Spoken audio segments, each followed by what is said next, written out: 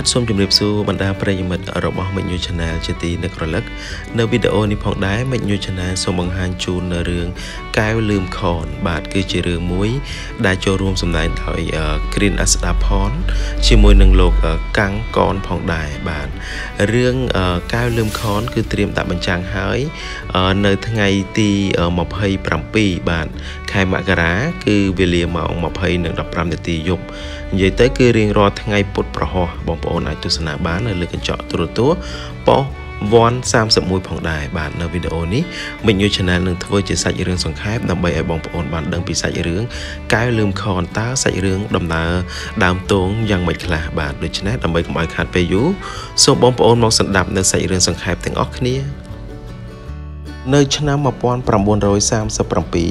អង្គម្ចាស់វរ្ម័នដែលជាក្សត្រនៅ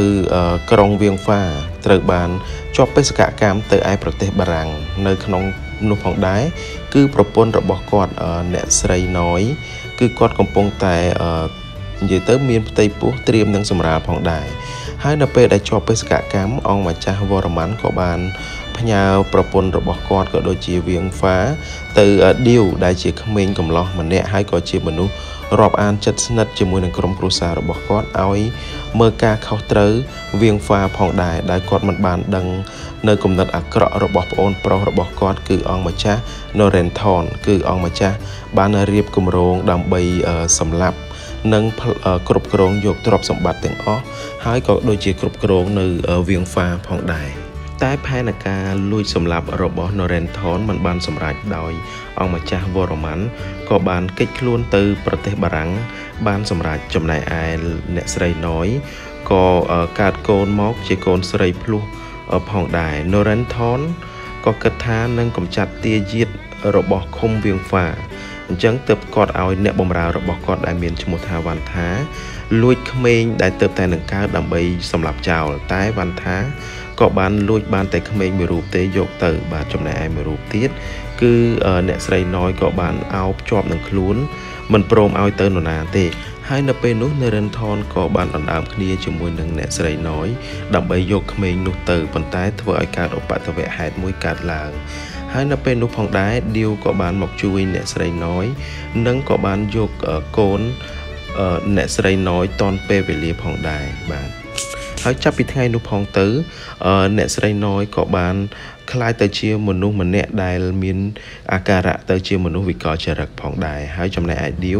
ក៏បានយកក្មេង ដែលជាកូនអ្នកស្រីណយបញ្ជូនទៅឲ្យអ្នកអង្គម្ចាស់វរ្ម័ននៅឯប្រទេសបារាំងបាទបន្ទាប់មកឌីវក៏បានត្រឡប់មកមើលថែរក្សានៅឃុំវៀងហ្វាវិញចំណែកឯអ្នកស្រីណយក៏បានក្លាយទៅជាមនុស្សឈួត ចំណែកឯលោក Narendthon ក៏មិនដឹងថាអ្នកអង្គម្ចាស់វរ្ម័នមានទាយាទជាកូនភ្លោះស្រី2នាក់ទេ រហូតមកដល់ឆ្នាំ1957កែវមានអាយុជាង10ឆ្នាំហើយត្រូវបានប្រកបមុខរបរជាអ្នកលក់បាយសម្លនៅតាមផ្សារនៅក្នុងក្រុងអយុធ្យាផងដែរហើយកែវក៏ជាក្មេងស្រីដែលស្អាតមានទឹកចិត្តនិយាយពីរោះហើយក៏ជាមនុស្សឆ្លាតមួយរូបនិយាយទៅអ្នកភូមិផងរបងជាមួយតែងតែស្រឡាញ់និងចូលចិត្តកែវជាច្រើនលើកលែងតែវ៉ាន់ថា ដែលជាម្ដាយចិញ្ចឹមហើយនិងសាយជាតិដែលជាបងស្រីនឹងតែងតែរករឿងនិយាយទៅធ្វើបាបអឺកែវជារៀងរហូតផងដែរបាទព្រោះកែវគឺជាកូនចិញ្ចឹមអញ្ចឹងទៅធ្វើឲ្យពួកគាត់តែងតែធ្វើបាបរហូតដល់អ្នកភូមិតែងតែនឹកសង្ស័យថាហេតុអ្វីក៏ធ្វើបាបកែវបើនិយាយពីរូបសម្ផស្សនិងអាកប្បកិរិយា គឺខុសគ្នាស្រឡះដូចមេឃនិងដីកែវគឺជាមនុស្សស្រីដែលទន់ភ្លន់ដឹងខុសដឹងត្រូវផងដែរបាទហើយកែវក៏មានតួនាទីរកលុយដើម្បីមកចិញ្ចឹម ផ្គត់ផ្គង់នៅក្នុងក្រុមគ្រួសារដែលមានអឺសាយជាតិហើយនិងស្វាមីដែលគឺជាមនុស្សសវង្ខួបដែលមានឈ្មោះថាមីងបាទធ្វើឲ្យមីងត្រូវមានបំណងតែងតែមានបំណងអាក្រក់មកលើកែវបាទគឺតែងតែចង់ចាប់រំលោភកែវ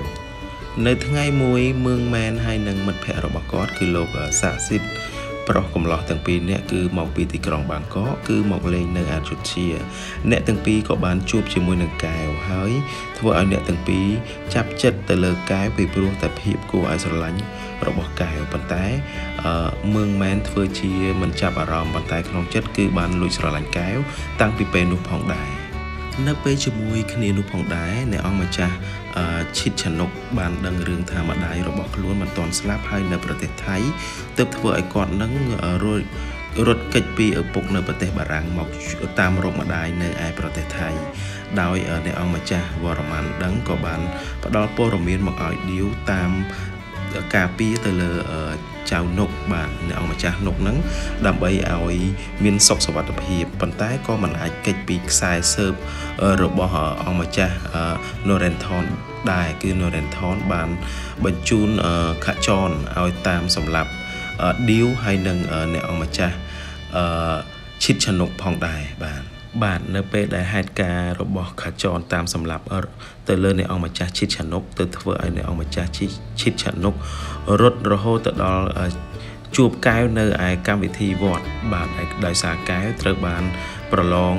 ច្រៀងនៅក្នុងកម្មវិធីនោះដើម្បីយកលុយមកដោះបំណុលឲ្យគ្រួសារផងដែរបាទរហូតដល់ខចនយល់ច្រឡំថាកែវគឺជាអ្នកអង្គម្ចាស់ឈិតឆានុកហើយនៅពេលនោះផងដែរអ្នកអង្គម្ចាស់ឈិតឆានុកត្រូវបានជួយពីឌីវចំណែកឯកែវត្រូវបានជួយពីមឿងម៉ែនផងដែររហូតដល់ខចនក៏បានយកព័ត៌មាននេះទៅប្រាប់ទៅដល់អ្នកអង្គម្ចាស់ Norenthon ថាអ្នកអង្គម្ចាស់ឈិតឆនុកមានមនុស្សស្រីម្នាក់ទៀតមានមុខមាត់ដូចគ្នាអញ្ចឹងមានតែកូនភ្លោះធ្វើឲ្យអ្នកអង្គម្ចាស់ Norenthon ក៏បានចាប់អារម្មណ៍នៅរឿងនេះផងដែរនៅពេលនោះផងដែរអ្នកអង្គម្ចាស់ Norenthon ក៏បាន ទៅសួរវ៉ាន់ថាពីរឿងរបស់កែវហើយវ៉ាន់ថាក៏បានប្រាប់ការពិតថាកែវគឺជាទាយាទម្នាក់របស់អ្នកអង្គម្ចាស់វរ្ម័នផងដែរហេតុដូច្នេះហើយទើបធ្វើឲ្យវ៉ាន់ថាចាប់ឃុំកែវនៅឯផ្ទះដើម្បីលក់កែវទៅឲ្យម្ចាស់បំណុល ហើយក៏បានវ៉ាន់ថាក៏បានទៅធ្វើធុរៈជាមួយនឹងសាយជីតទុកឲ្យមីងជាអ្នកនៅរងចាំកែវដោយមានគំនិតអាក្រក់មីងគិតថានឹងចាប់រំលោភកែវមុននឹងបញ្ជូនខ្លួនទៅឲ្យម្ចាស់បំណុលហើយនៅពេលនោះផងដែរកែវក៏បានសម្លាប់មីងហើយកែវក៏មានការតក់ស្លុតភ័យខ្លាចក៏បានរត់ចេញពីផ្ទះហើយនៅពេលដែលកែវរត់ចេញពីផ្ទះក៏បានទៅជួបជាមួយនឹងពេអឺសឹមហើយនឹងចែកអ៊ូ ដែលត្រៀមនឹងចេញទូកទៅឯក្រុងបាងកកហើយកែវក៏បានសុំដោយសារអ្នកទាំងពីររស់នៅជាមួយហើយក៏បានភៀសខ្លួនទៅឯទីក្រុងបាងកកជាមួយនឹងគាត់ទាំងពីរផងដែរហើយនៅពេលជាមួយគ្នានឹងផងដែរឌីវក៏បាននាំអ្នកអង្គម្ចាស់ឈិតឆនុកត្រឡប់មកឯវាំងវរ្ម័នបាទដែលនៅឯទីក្រុងបាងកក ហើយនៅពេលនោះអ្នកអង្គម្ចាស់វរ្ម័នក៏បានត្រឡប់មកដល់ប្រទេសថៃហើយក៏បានសុំទោសនិងអធិប្បាយការចាំបាច់ដែលត្រូវកុហកកូនស្រីរបស់ខ្លួនថាម្ដាយរបស់ខ្លួនបានស្លាប់នៅពេលជាមួយគ្នានឹងផងដែរអ្នកអង្គម្ចាស់វរ្ម័នក៏បានបញ្ជាឲ្យឌីវនឹងទៅឈៀងម៉ៃដើម្បីរកផ្លូវទៅជួយអ្នកស្រីណយចេញពីឃុំវៀងហ្វាបាទហើយនៅពេលដែលឌីវកំពុងតែធ្វើដំណើរតាមផ្លូវត្រូវបានពួកខាចន ធ្វើបាបរហូតដល់រងរបួសយ៉ាងធ្ងន់ហើយក៏ចងចាំអ្វីមិនបានដែរបាទបាទនិយាយអំពីកែវិញគឺគាត់បានចាប់ផ្ដើមជីវិតថ្មី នៅឋានៈជាកូនធររបស់ប៉េលីមនៅលើទូផងដែរនិយាយទៅគឺអឺកែវតែងតែជួយនៅការងារផ្សេងផ្សេងហើយក៏មិនព្រមនៅស្ងៀមដែរនៅថ្ងៃមួយកែវក៏បានចេញទូក ដើម្បីលក់នៅម្ហូបអាហារនៅតាមផ្សារនៅលើទឹកនឹងផងដែរហើយនៅថ្ងៃនោះផងដែរកែវក៏បានជួបជាមួយនឹងមឿងមែនជាមួយនឹងសាក់ស៊ីតម្ដងទៀតធ្វើឲ្យអ្នកទាំងពីរគឺកែវហើយនឹងមឿងមែនក៏คล้ายទៅជាស្នេហ៍បាទពួកគាត់បានស្រឡាញ់គ្នាហើយធ្វើឲ្យខុនថងដែលជាប្អូនស្រីរបស់សាក់ស៊ីតដែលតែងតែលួចស្រឡាញ់មកលើមឿងមែនកើតនៅការច្រណែនឬស្យា មកលើកែផងដែរហើយក៏បានយករឿងដែលមឿងមែនសេពគប់ស្រឡាញ់គ្នាជាមួយនឹងកែវហ្នឹងទៅប្តឹងដល់លោកយាយកែនច័ន្ទដែលជាយាយបង្កើតរបស់ មឿងមែនហើយមឿងមែនត្រូវបានលោកយាយហាមដាច់ខាតមិនឲ្យតាក់ទងជាមួយនឹងកែបន្តទៅទៀតប៉ុន្តែមឿងមែនគាត់មិនព្រមស្ដាប់ទេបាទហើយនៅថ្ងៃមួយផងដែរកែវហើយនឹងមឿងមែនកំពុងតែចាយទូកលក់ហានៅផ្សារលើទឹកហ្នឹងត្រូវបានកូនចៅរបស់ខចនបានឃើញហើយក៏បានដេញតាមសម្រាប់កែវបន្ទាប់មកពេលីមក៏បានគិតថា ដើម្បីសុខសុវត្ថិភាពរបស់កែវពេលលឹមក៏បានបញ្ចេញទូកពីកន្លែងហ្នឹងដើម្បីកិច្ចពីពួកដែលតាមព្យាបានមកលើកែវប៉ុន្តែកិច្ចមិនផុតពួកខាចនក៏បានមកតន់ហើយក៏បានសម្លាប់ពេលីមហើយនឹងចែអ៊ូនស្លាប់ព្រមព្រមគ្នានៅឯលើទូកហើយព្រមទាំងដុតទូកនឹងចោលផងដែរចំណែកឯកែវនិយាយទៅស្ទើរតែស្លាប់ព្រោះបានមឿងមែនជួយជីវិតតន់បាទចាប់ពីនោះមកពួកគេក៏បាន ជន្លះខ្លួនកែវដោយមឿងមែនយកកែវទៅនៅផ្ទះរបស់ស័ក្តិសិទ្ធផងដែរហើយដែលស័ក្តិសិទ្ធតែងតែលួចស្រឡាញ់កែវនិងធ្វើអំពើល្អដាក់កែវចនិចខុសពីខណ្ឌថងដែលមិនពេញចិត្តចំពោះកែវតែតែព្យាបាទឈ្នានេះកែវជារៀងរហូតផងដែរ នៅពេលដែលកែវបានស្នាក់នៅផ្ទះរបស់ខាន់ថងកែវតែងតែមានឱកាសបានជួបជាមួយនឹងអង្គម្ចាស់ឈិតឆនុកដោយអ្នកទាំងពីរមានអារម្មណ៍ប្លែកក្នុងចិត្តដែលអ្នកទាំងពីរមានមុខមាត់ដូចគ្នាហើយពេលខ្លះពួកគាត់ក៏បានមានឱកាសនិយាយគ្នាធ្វើឲ្យភាពស្និទ្ធស្នាលកើតឡើងរវាងគាត់ទាំងពីរហើយអ្នកទាំងពីរក៏คล้ายទៅជាមនុស្សដែលតែងតែមានរឿងអ្វីនិយាយប្រាប់គ្នាហើយស្គាល់គ្នារយៈពេលយូរផងដែរ ប៉ុន្តែអ្នកទាំងពីរមិនបានចាប់អារម្មណ៍ថាគាត់ទាំងពីរនាក់គឺជាកូនភ្លោះម្ដាយជាមួយគ្នាទេបាទហើយនៅថ្ងៃមួយកែវក៏បានទៅចូលរួមនៅពិធីខួបកំណើតរបស់មឿងមែនតែនៅពេលទៅក្នុងកម្មវិធីហ្នឹងគឺកែវតែងតែត្រូវបានខណ្ឌថងធ្វើបាបប៉ុន្តែត្រូវបានជិតឆនុកជួយ ឲ្យកែវមានឱកាសបានសំបំណងតាមក្តីស្នេហ៍របស់គាត់ដោយជិតឆនុកជួយឲ្យកែវបានឡើងរំជាមួយនឹងមឿងមែនផងដែរបាទដែលអ្នកទាំងគូមានអារម្មណ៍ថាប្លែកចិត្តយ៉ាងខ្លាំងក៏ដូចជាមានអារម្មណ៍ថាភ័យផងអរផងនៅពេលបានរំជាមួយគ្នាហើយនៅក្នុងកម្មវិធីខួបកំណើតរបស់មឿនម៉េង កែវហើយនឹងអ្នកអង្គម្ចាស់ជាឆនុកគឺគាត់បានតែងខ្លួនដូចគ្នា ហើយបន្ទាប់មកក៏មានហេតុការណ៍ដ៏ធំមួយកើតឡើង នៅនៅខាងក្រោយកម្មវិធីនឹងផងដែរដោយអ្នកអង្គម្ចាស់ Naren Thon ក៏បានបញ្ជូនមនុស្សរបស់ខ្លួន ទៅចាប់លោកអង្គម្ចាស់វរ្ម័នបាទធ្វើជាចំណាត់ខ្មាំងហើយចំណែកឯកែវបានត្រឡប់ទៅវាំងវរ្ម័នមុនអ្នកអង្គម្ចាស់ ឈិតឆនុកត្រូវបានចាប់ខ្លួនជំនួសអ្នកអង្គម្ចាស់ផងដែរហើយចំណែកឯឌៀវវិញគឺគាត់ទៅតែ បានដឹងការចងចាំត្រឡប់មកវិញនៅឯវាំងវរ្ម័នអញ្ចឹងទៅគាត់បានជួបជាមួយនឹងអ្នកអង្គម្ចាស់ឈិតឆនុកដែលកំពុងតែខូចចិត្តនៃការបាត់ខ្លួនរបស់កាច់និងឪពុករបស់ខ្លួនឯចំណែកឯលោក មឿងម៉ែនក៏បានចេញតាមរកកែវផងដែរនៅពេលដែលដឹងថាកែវបានបាត់ខ្លួនហើយឌីវក៏បានតាំងចិត្តថានឹងទៅជួយកែវនិងលោកស្រីណយតាមដែលខ្លួនបានតាំងចិត្តពីដើមមកផងដែរហើយក៏បានបញ្ជាឲ្យអ្នកអង្គម្ចាស់ឈិតឆនុកនឹងត្រឡប់ទៅប្រទេសបារាំងវិញដើម្បីមានសុវត្ថិភាពផងដែរតែអ្នកអង្គម្ចាស់ឈិតឆនុកមិនព្រមត្រឡប់ទៅវិញទេគឺ បានកិច្ចហើយក៏បានជួបជាមួយនឹងមឿងម៉ែនអ្នកទាំងពីរអ្នកក៏បានឡើងទៅខេត្តឈៀងម៉ៃដើម្បីទៅជួយកែវដែលត្រូវបានចាប់ខ្លួនយកទៅឯនៅឃុំនៅឯវាំងវៀងហ្វាផងដែរចំណែកអ្នកអង្គម្ចាស់ Norenthon គឺមានការយល់ច្រឡំថាកែវគឺជាអ្នកអង្គម្ចាស់ចិត្តចនុកតែនៅពេលដែលដឹងការពិតថាកែវគឺជាកែវនឹង ទើបអង្គម្ចាស់ Norenthon ក៏បញ្ជាឲ្យកូនចៅនាំកែវទៅឃុំខ្លួនជាមួយនឹងលោកស្រីណយដែលជាម្ដាយផងដែរព្រោះអ្នកអង្គម្ចាស់ Norenthon ចង់បោកបញ្ឆោតអ្នកទាំងពីរដើម្បី សួរអំពីរឿងពិន័យកម្មផងដែរហើយនៅពេលមកកែវបាននៅជាមួយនឹងម្ដាយធ្វើឲ្យភាពស្និទ្ធស្នាលក៏ដូចជាមនោសញ្ចេតនារវាងម្ដាយនិងកូនធ្វើឲ្យកែវតែងតែព្យាបាលជួយមើលថែម្ដាយរហូតដល់អាការៈរបស់អ្នកស្រីណយមានការធូរស្បើយ ពីភាពវិកលចរិតរបស់គាត់ផងដែរនៅពេលដែលអ្នកអង្គម្ចាស់ឈិតឆនុកហើយនឹងលោកមឿងមែនបានមកដល់ឈៀងម៉ៃមឿងមែនដឹងថា Norenthon ត្រូវការខ្លួនរបស់អ្នកអង្គម្ចាស់ឈិតឆនុកទើបមឿងមែនក៏បានចូលទៅជួបជាមួយនឹងអ្នកអង្គម្ចាស់ Norenthon ដើម្បីធ្វើការផ្លាស់ប្ដូរគ្នារវាងកែវហើយនិងអ្នកអង្គម្ចាស់ឈិតឆនុកផងដែរបាទ Norenthon ក៏គាត់បាន យល់ព្រមចំពោះសំណើរបស់មឿងមែនផងដែរបាទហើយបន្ទាប់មកទៀតគឺមានអ្នកបម្រើដែលនៅក្នុងឃុំវៀងហ្វានឹងដែលជាខ្សែសើប